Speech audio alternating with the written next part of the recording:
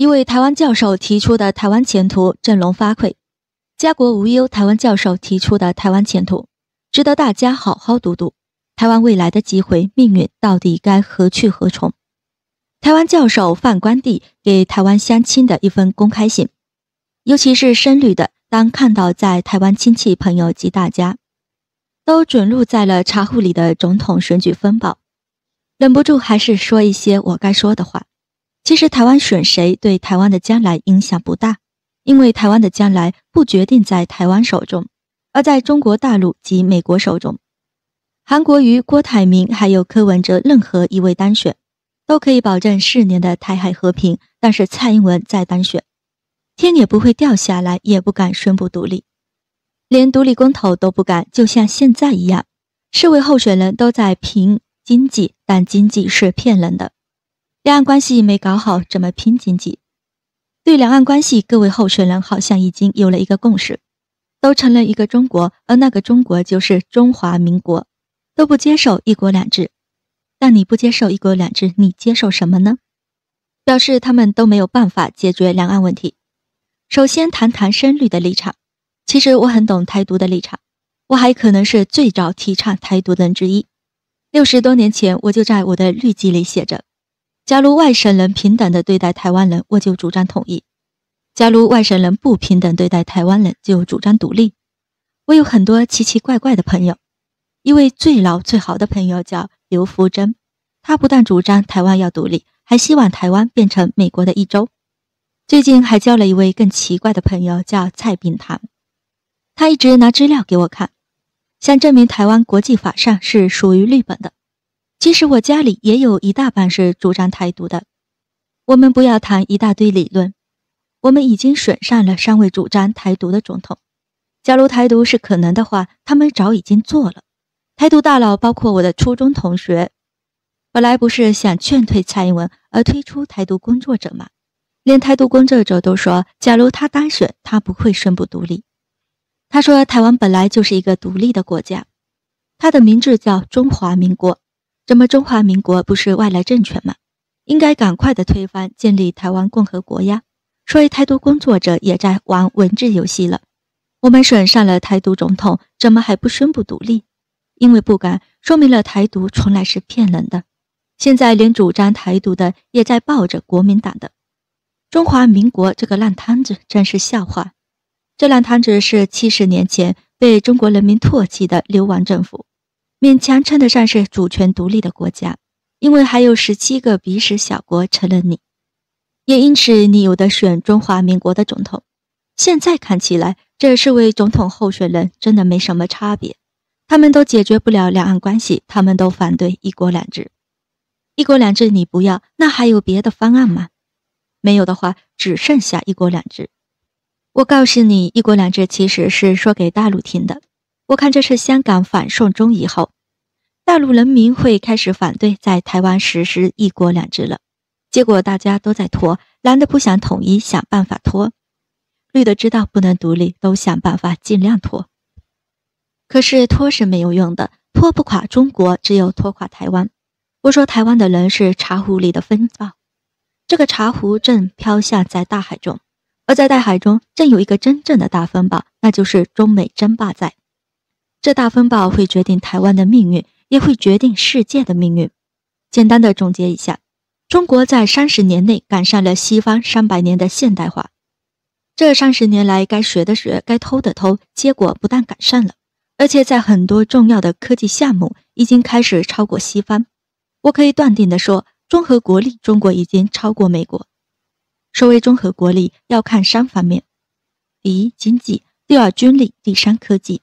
经济最重要的不是 GDP，而是工业总产值。中国的工业总产值已经超过美国、日本、德国加一起之和。军事上看起来是较弱的，因为武器数量上还远远少于美国。美国军力强，可以吓吓小国，但是吓不了中国同样拥有核武器的大国。其实小国也吓不了。你看朝鲜，一有核武器就把美国摆平了。像委内瑞拉及伊朗这么反美的国家，以前美国早就打进去了，到现在还不敢动，表示美国已经今非昔比，比大家想象的弱得多了。所以军事强不敢打是没用的。科技方面值得惊讶的是，在重大影响人类将来的科技项目上，中国遥遥领先，诸如量子通讯、核聚变研究、微中子研究、石墨烯及可燃冰研究等等。你们可能听都没听过这些名称，但五到十年之内，我们的生活肯定会被他们改变。其中最重要的是量子卫星，它的重要性跟上世纪的原子弹的重要性一样。谁成功的发射量子卫星，谁就掌握着这个世纪通讯业的命脉。中国在二零一六年六月十八日成功发射了世界第一颗量子卫星，现在已经三年了，不知道美国什么时候才赶得上。记得这一天以后，历史会记载，这一天是中国正式超过美国的一天。让我说明一下。中国以前发明了制造瓷器的技术，这个技术中国保持秘密上千年，一直赚全世界的钱。西方工业革命有多少秘密呀？中国再一千年也偷不到。西方科技的最伟大发明——计算机及互联网，有一个大漏洞，可以黑进去，所以没有秘密可言。所以中国三十年来该学的全学了，该偷的也偷了，而开始超越美国了。量子通讯的功能比现在的数位通讯不但上千倍，最重要的是它完全保密，所以中国的新发明没人偷得走。军事上，中国已经可以保密，而美国没办法。军法有言：“知己知彼，百战百胜。”美国还用打吗？总而言之，中国实质上已经超过美国。美国近三十年来一直忙着打仗，突然醒来发现已经被中国超过了，所以特朗普会说他要美国重新伟大。正是因为他知道美国已经不是最伟大的了，美国以为现在是他最后的机会把中国压下去，所以发动了贸易战，又企图阻止华为手机在美国上市。大家做梦都想不到，中国的手机超过美国，而且远远的超过。你能阻止优秀的商品进入市场吗？还要用国家安全紧急令去阻止，这不是笑话吗？这真的是狗急跳墙的动作，但是都太晚了。中国说不想打，不怕打，要分配到底，这是很有底气的话，也是很真实的话。不但中国已经赢了，美国只是加速衰退。我预言美国的衰退会来得比任何人想象的快和长。你不相信，你就等着吧。假如我上面说的是对的话，我们就要好好考虑台湾的将来了。我觉得统一是唯一的道路，而且越快越好，真的有一点急。因为现在中国忙着跟美国争霸，中国领导人天天忙着在全世界布局，不但有一带一路，还在推动人类命运共同体。台湾对他来说其实是一个很小的问题，把美国压下去以后，收回台湾是轻而易举的。中国主席对台湾算是最温和、最柔软的领导人了。他不但说会尊重台湾人的生活方式及现有的社会制度。还说“一国两制”的内容可以跟台湾各界商讨，他已经对台湾释放了最大的善意，因为这是香港的反送中事件，大陆有很多反弹，开始怀疑“一国两制”。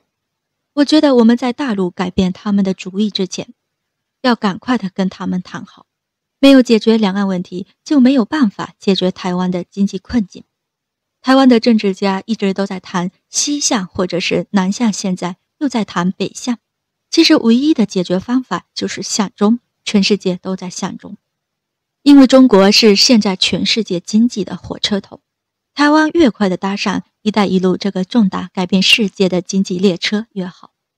有些台湾的特别问题，像我们大学太多，学生不够，很多大学都面临关门，我们应该打开大学门。大陆有的是想上大学的学生，我们可以把台湾变成全中国的高等教育中心。另一方面，大陆正在推行复兴中华文化大业。台湾因为历史的原因，把中华的文化保存得相当好。这方面我们可以提供大陆不少帮忙。还有一点，台湾在地理跟文化上处于东西文化之间，我们西化的时间比较早，强度比较深。这其中的利弊都可以供大陆的参考。我觉得统一是对台湾人民最好的。我们这一代有幸。能够看到中国的复兴，中国的崛起，我们应该兴高采烈参加、投入及分享中国盛世的开始。两岸关系是人民之间的感情问题，要解决这个历史留下来的问题，台湾不能够敌视对方，更不应该认贼作父。现在是我们主动向大陆释放善意的时候，自动释出善意，自动谈和平统一非常重要，这样才能够争取对台湾最好的条件。等到兵临城下，就没什么好谈的了。